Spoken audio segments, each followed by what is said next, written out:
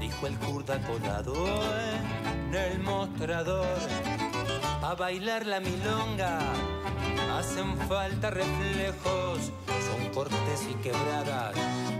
Ojuname campeón, meta y ponga. A bailar la milonga,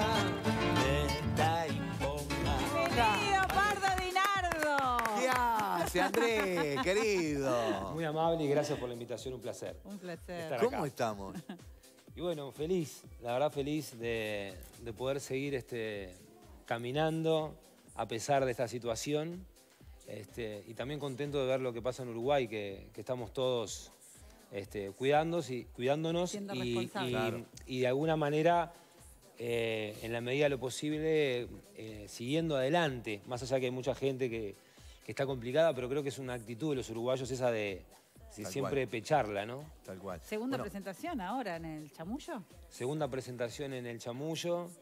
Bueno, nada, este, contentos de que eso, de que tocar con toda la banda, con todos los protocolos, estamos por supuesto, pero estamos apostando a que en esta situación no se deje de, de poder presentar al público un show como, como digamos, no como debe Claro. ser, pero como se... Como, como se permite hoy por hoy, pero no es un detalle menor que Cuca dice segunda presentación. Hay una segunda presentación porque en, en plena pandemia pudiste hacer una, Claro. se cumplieron todos los protocolos, la gente acompañó y eso hace a que este, se pueda hacer una- un, un segundo show. Pero aparte vos que sos un trovador del tiempo, ¿no? Porque venís este, eh, eh, eh, corriendo para los lugares que sea. Estuviste en España, estuviste en Argentina, un montón de lugares y siempre haciendo un montón de cosas. Tenés una sala de ensayo propia, Lady Madonna, la Johann Sebastian, ¿no? Aquella banda preciosa que también cantaron durante mucho tiempo. Contanos un poco de Totalmente. Sí, eh, digamos, diría un viejo profesor mío de armonía cuando yo tenía 15 años, él me decía, el tema del arte no es una elección, es una enfermedad, me decía. y bueno, nada, este, lo traigo de muy chiquito, a los 13 comencé con la música, a los 15 hice un primer escenario, han pasado proyectos sí de, como si vos de Trovador, primero trilogía, después la Johann Sebastian, después con el maestro Covelli en el tango, bueno, y ahora en esta etapa de volviendo un poco a la, a la cuna de, de esto del, del trovador, que es un poco, ser un poco cronista del tiempo que a uno le toca vivir, cantar no solo las historias propias, sino también las de otros, las que uno ve. Claro. Este, y bueno, se trata de eso, un poco siguiendo y con el compromiso de, de tener las botas puestas hasta, hasta el día que me vaya. Claro.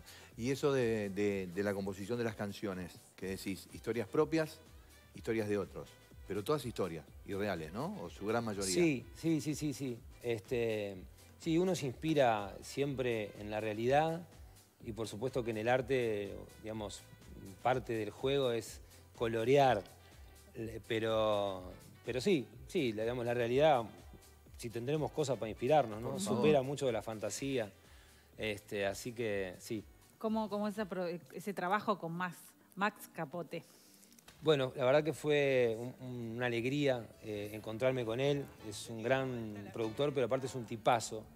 Uno con el tiempo, con los años, valora mucho no solo la parte, la calidad, digamos, profesional de las personas, sino también la, la humana. Eh, así que bueno, nada, fue, fue bárbaro trabajar con él. Muy divertido y, y bueno, y él se comprometió mucho con, el, con este viajero del tiempo. Así que nada, lindo. Y el sello de Argentina que también este, editaste por allá y también ha presentado tu material en algunos eventos, en algunos concursos que realmente son importantes, como los Grammys Latinos Y Los premios y Gardel. los premios Gardel. Sí, Aqua Records es un, es un sello muy especializado en el tango, de nicho, pero con, con mucho prestigio, con artistas, eh, digamos, eh, internacionales, incluso en el sello pesados. Este, y, y bueno, la verdad que sí, fue una alegría, digo, para. Son esos, esos mimos para seguir este, con aliento Claro. en esta carrera.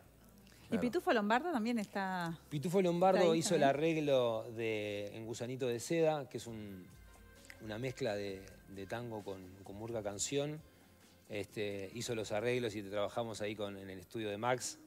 Este, están las filmaciones, así que ya, la- ya las compartiré en algún momento. Fue, fue buenísimo conocerlo. Bueno, otro, otro tipo que, aparte de ser un gran profesional, también es un, un tremenda persona, ¿no? Que, Cada vez, que cada vez que tenemos la chance de hablar con algún artista este, que, que- que está incursionando en el tango, decimos que el tango siempre llega en algún momento a tu vida. ¿Cuándo llega a la tuya? Bueno, en mi, caso fue una cosa particular porque yo con, con 20 años, tocando de aquí para allá, este, llego un día a una presentación en Joven Tango y como, como todos los que estamos en esto, hacemos un poco de todo vinculado. Entonces yo manejaba toda la parte de sonido porque ya venía. Entonces me ofrecieron, eh, yo con 20 años, y quería amplificar las, las orquestas de tango. en aquella época Joven Tango estaba la época de Nocetti, era muy, claro, muy sí, fuerte. sí, fuerte. Y bueno, y ahí empecé, y empecé con el tema de amplificar muchas orquestas, y era tipo viernes y sábado durante dos años, este, escuchando, por ejemplo, de las 8 de la noche, a- terminaba con la milonga como a las 5 de la mañana. Este, entonces fue mucho, mucho tango, mucho tango. Y mm, 10 años después invito al maestro Covelli, que lo- yo lo amplificaba mucho, a, a hacer, digamos, a, a tocar en- en- en unos tangos míos. Y bueno, y ahí comenzó, como que la semillita fue en, en esa Claro. milonga, como DJ, terminé siendo el DJ de, de la milonga en Joven Tango. Y bueno, y después empezó ahí esa, esa movida. Después la continué en Argentina también. Este, en- me, invitó me invitaron del CAF eh, al primer festival de tango independiente eh, en Buenos Aires que se hizo en 2017. Y en 2018 yo hice acá Cambalache 21, que era un poco llamar Claro. a toda la, a la nueva sangre del tango a, a hacer un festival. Qué bueno, qué bueno. Pardo, bueno, contanos entonces este sábado va a ser la presentación. ¿A qué hora? Este sábado es a las 9 de la noche. Nueve de la noche. Como le contaba, este, to- todos los protocolos eh, actuales, las mesas realmente están a dos metros, la gente circula con tapabocas, eh, toman la fiebre, todo.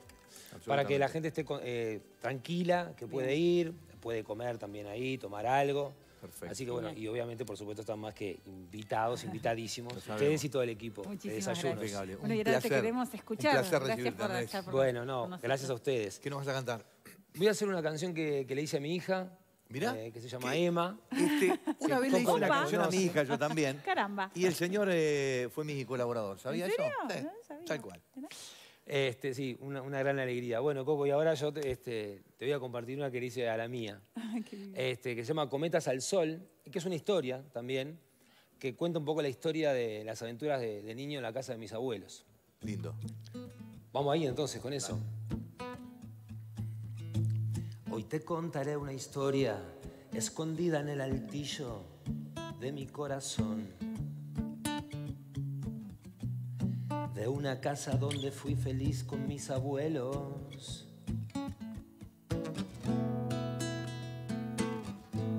La llamábamos Malvin, aunque en realidad nació en el buceo. Los domingos era ahí y todo era un juego. Su nombre me recuerda a la paella, a mis primos las botellas, con las cañas voladoras, recibiendo el nuevo año, correteando en bicicleta, remontando las cometas al sol.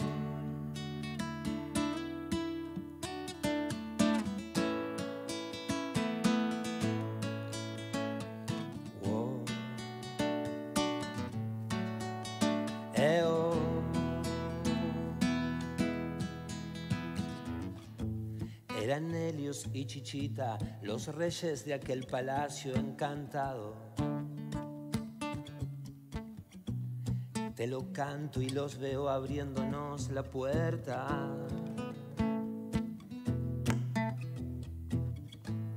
Aquel fondo era el estadio, el gomero y las macetas, los arcos.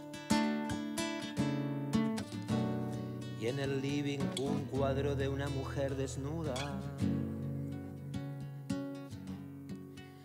Se esconden los niños de sus abuelos, travesuras de febrero. Entramos en la despensa a comer pasas con ron. El susto de Susanita, la yerba en aquella pipa y a reírnos en el balcón. oh, eh, oh.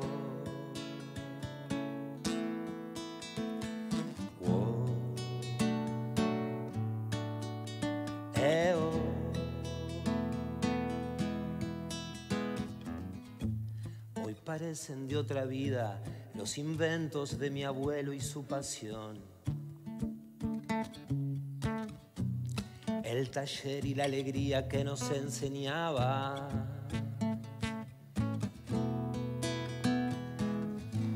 Ayer pasé por la casa y me vi como un fantasma también yo.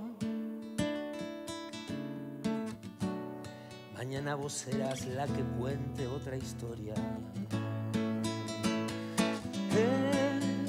Su nombre me recuerda a la paella, a mis primos las botellas con las cañas voladoras, recibiendo el nuevo año, correteando en bicicleta, remontando las cometas al sol, cometas al sol. eh, oh, oh, oh, eh, oh.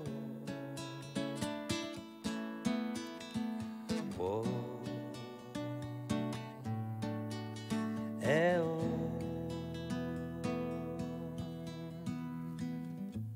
Hoy te contaré una historia escondida en el altillo de mi corazón.